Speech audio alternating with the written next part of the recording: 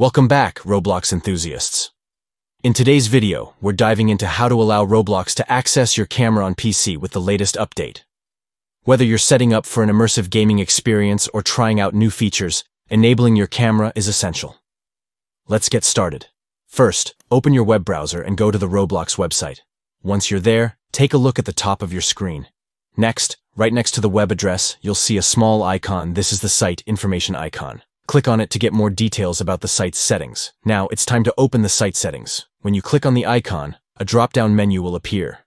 Look for the option that says Site Settings and click on it. This will direct you to a new window where you can adjust how the site interacts with your device.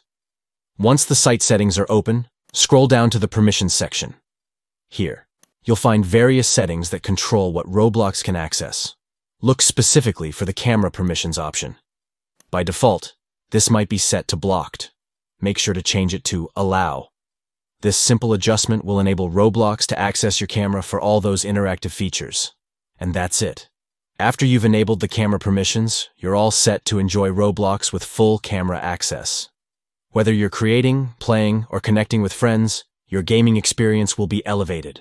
Thanks for watching. If you found this video helpful, don't forget to like, subscribe, and hit that notification bell for more tips and tricks on everything Roblox.